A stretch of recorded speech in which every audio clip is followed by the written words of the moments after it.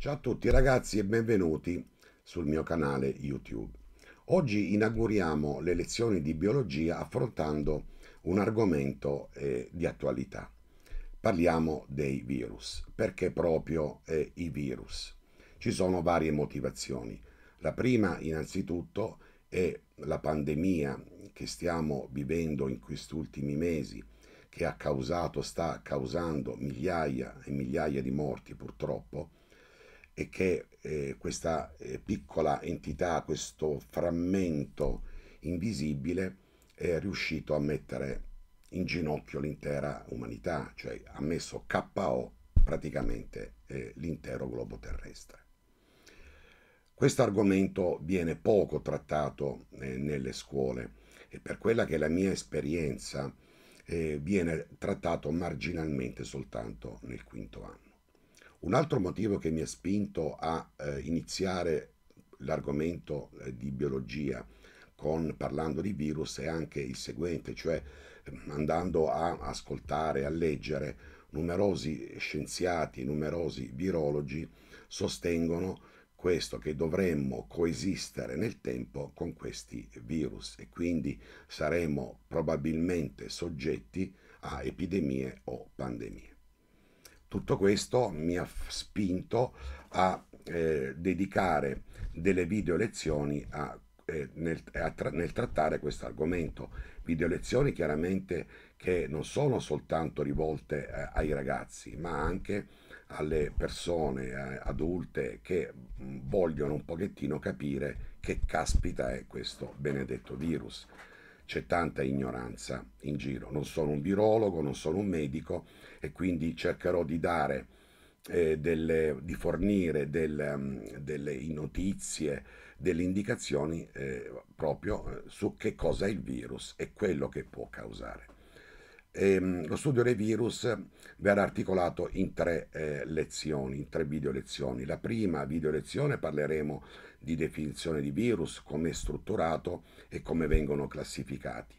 La seconda video lezione, che sarà un po' più tecnica, riguarderà invece la modalità di infezione che i virus eh, determinano nei confronti delle cellule.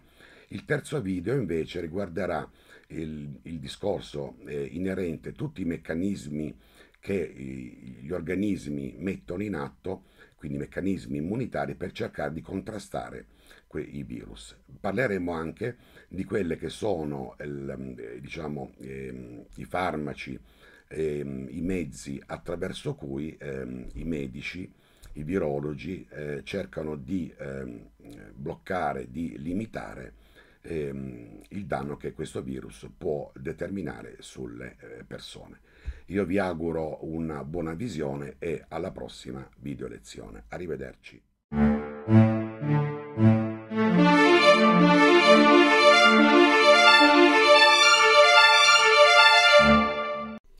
Bene ragazzi, vediamo in questa prima video lezione di definire che cosa eh, sono i virus, quali sono le loro caratteristiche e come vengono classificati. Diciamo innanzitutto che i virus non sono né organismi procarioti né organismi eucarioti, ma vengono definiti come dei frammenti biologici o delle entità biologiche che possono soltanto ed esclusivamente replicarsi all'interno di organismi viventi. Vengono pertanto definiti come dei parassiti obbligati. A differenza degli altri microorganismi, i virus non vanno incontro né ad accrescimento né a divisione cellulare, ma le loro strutture vengono prodotte all'interno della cellula, queste strutture vengono successivamente assemblate e il, il virus poi fuoriesce dalla cellula per andare a infettare nuove, eh, nuove cellule. Per quanto riguarda le dimensioni, i virus hanno dimensioni estremamente piccole, vanno dagli 0,02 micrometri agli 0,4 micrometri.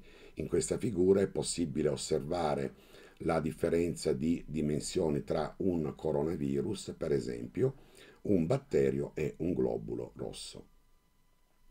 Se volessimo fare un raffronto con altri microorganismi ehm, ehm, che si trovano in natura, cioè i batteri, possiamo dire che i batteri presentano un metabolismo autonomo, vanno incontro a scissione binaria, sono dotati di strutture cellulari come per esempio i ribosomi, la membrana cellulare, la parete cellulare e quindi eh, possono vivere su eh, diversi tipi di substrati.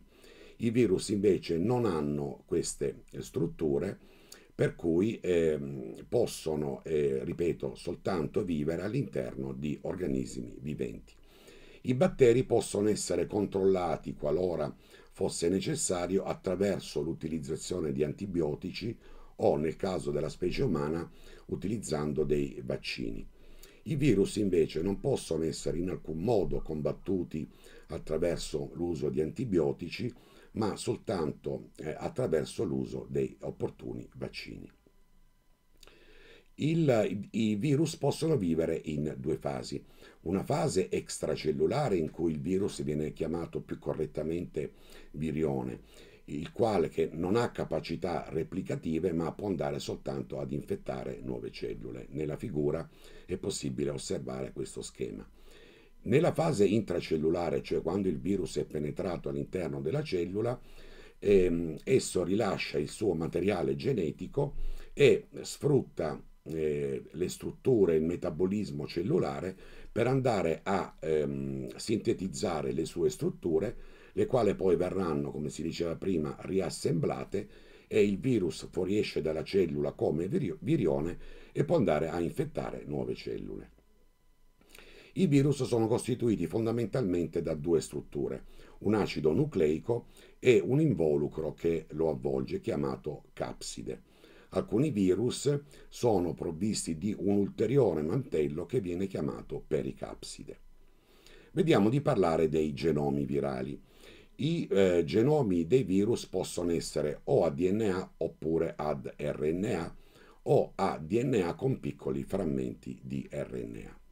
In figura vi eh, mostro alcuni virus patogeni per l'uomo, come per esempio il papilloma virus, l'herpes virus, il virus dell'epatite B, che sono tutti virus a DNA.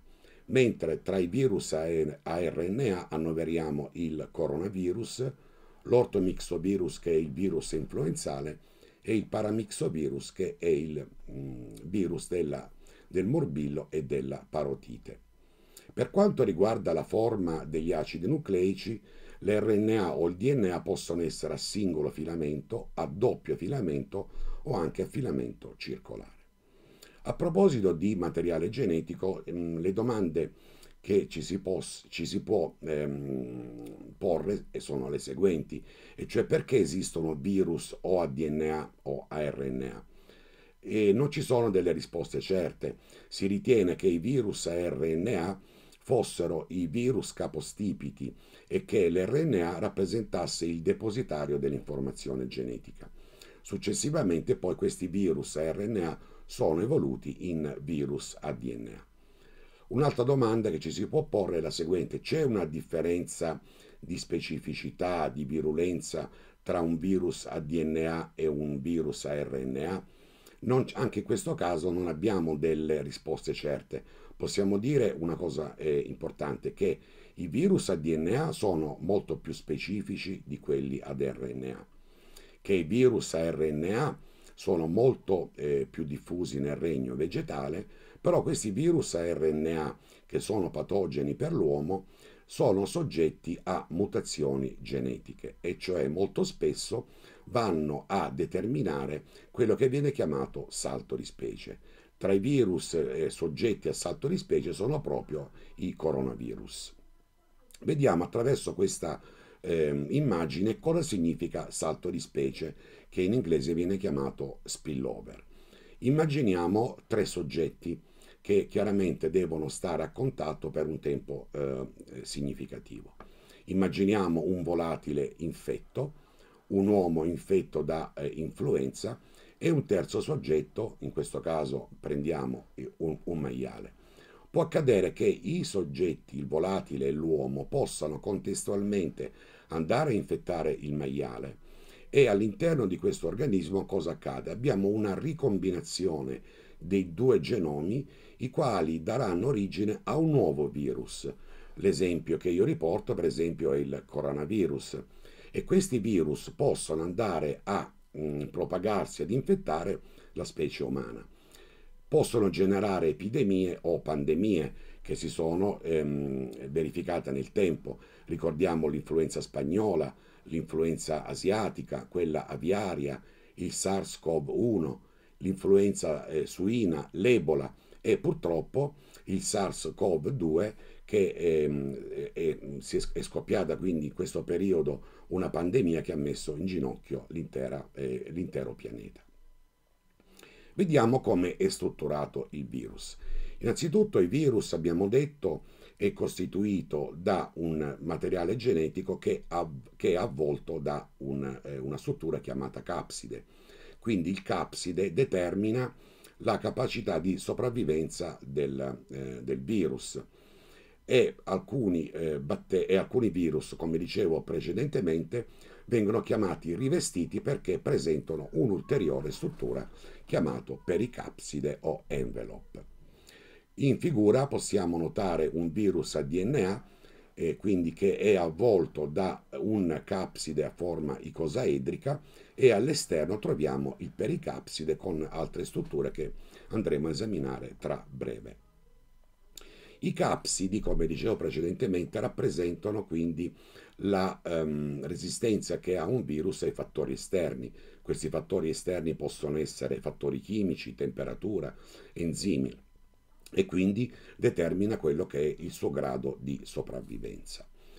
I virus rivestiti, come nel caso di questo herpes, virus che eh, faccio notare, sono costituiti da, abbiamo detto, un acido nucleico, da il capside che lo avvolge. La struttura capside più acido nucleico viene chiamato nucleocapside.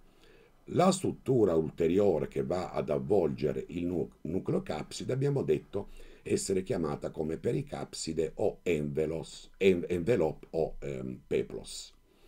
I virus che non sono in alcun modo rivestiti dal pericapside vengono chiamati virus nudi.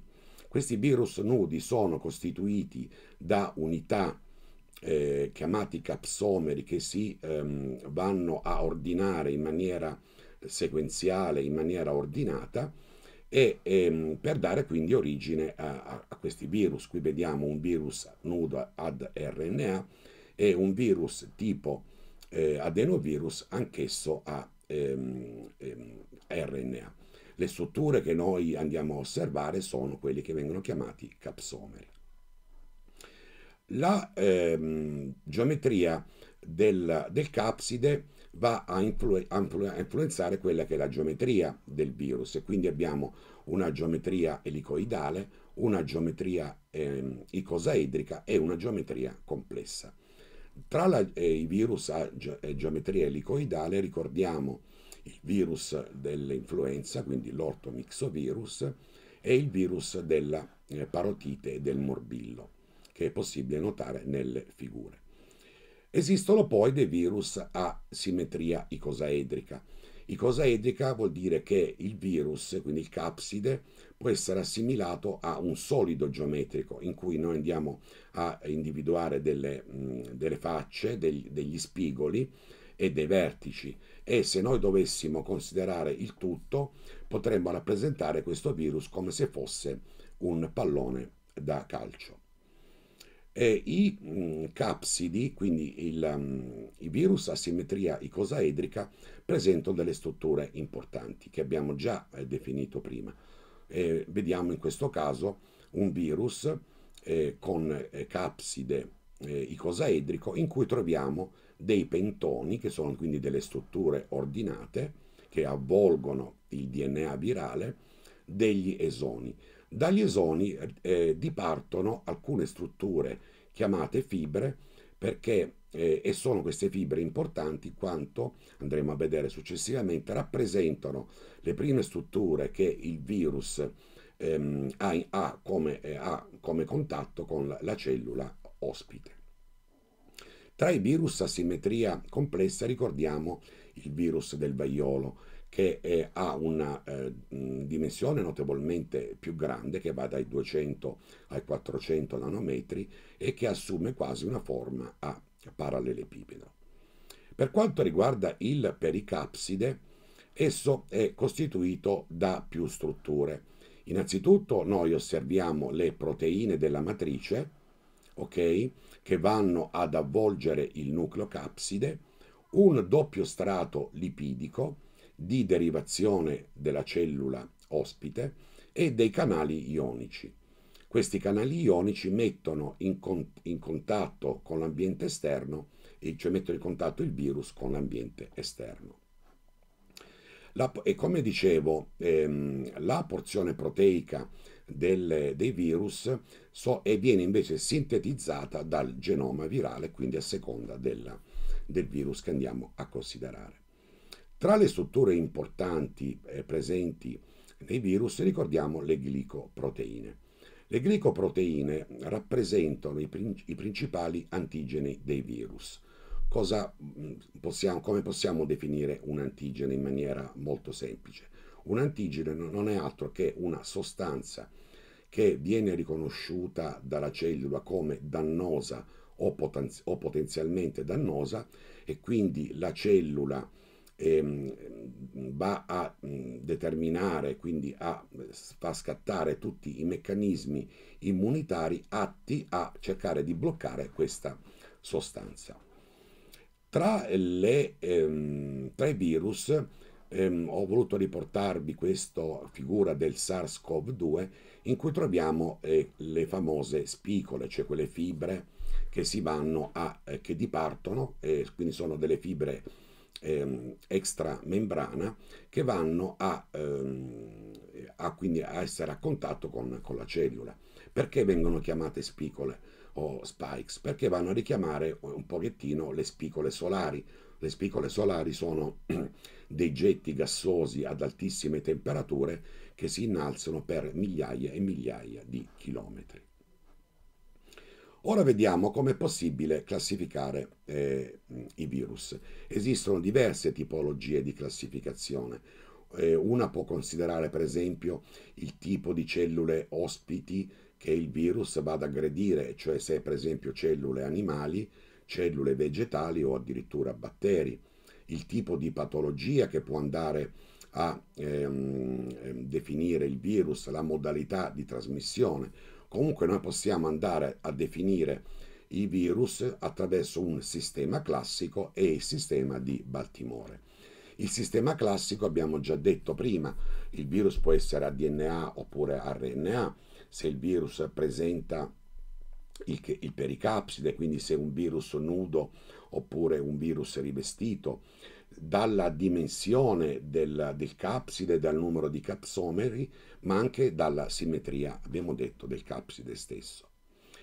La mh, teoria di Baltimore eh, mh, parte da un altro presupposto, anche se va a completare quella eh, classica. Cioè lui, eh, Baltimore, parte da che cosa? Dalla morfologia del, del materiale genetico che si trova all'interno del virus e quindi alla modalità attraverso cui questo materiale genetico va a produrre l'mRNA, cioè l'mRNA non è altro che l'RNA messaggero. Eh, Baltimore individua sette classi, noi non entriamo nel merito delle classi, ehm, quindi se sono virus a DNA o a RNA o se sono virus a polarità positiva o negativa. Diciamo questo, che il meccanismo attraverso cui viene prodotto l'mRNA ehm, definisce la classificazione di Baltimore. Un piccolo inciso, cos'è l'mRNA? Eh, L'mRNA è un acido nucleico e viene chiamato RNA messaggero. Noi sappiamo, abbiamo detto, che le proteine dei virus vengono prodotte sfruttando il metabolismo cellulare e le strutture cellulari. Quindi l'mRNA che compito ha? Ha il compito di andare a trascrivere il messaggio che viene fornito dal DNA, poi questo messaggio a livello di ribosomi, ribosomiale, deve essere letto e tradotto in proteina. Quindi il meccanismo attraverso cui viene prodotto l'mRNA e i meccanismi attraverso cui vengono prodotte le proteine, quindi ha spinto Baltimore a ehm, definire questo tipo di, di eh, classificazione. Ricordiamo che anche le proteine eh, possono essere assemblate con altre sostanze all'interno della cellula sfruttando in questo caso l'apparato del Golgi. Bene, eh, io ho terminato questa video lezione che ha un carattere esclusivamente ehm, divulgativo, spero di essere stato chiaro e alla prossima lezione. Un saluto a tutti.